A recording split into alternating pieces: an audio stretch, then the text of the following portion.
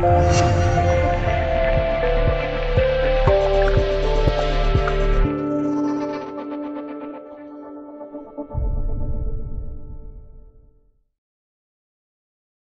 标题：解放军黄海军事活动，台国防部表态不随解放军文攻武下起五。环球网综合报道，解放军十日至十三日在黄海进行重大军事活动，消息传到台湾，台国防部似乎又怕被岛内民众骂无能，十日当天即紧急回应，台军对周边海空解放军动态都能严密掌握与应处。还宣称不要随着解放军的文攻武下起舞。台湾中央社十日报道称，大陆海事局网站十日发布消息，解放军于当日晚六时七至十三日晚上六时，在黄海进行重大军事活动，并强调为确保安全，任何船舶不得进入。对此，台国防部当日中午随即发布新闻稿称，台军会坚守岗位，确保安全与区域稳定。还与请岛内民众放心，台军对周边海空解放军动态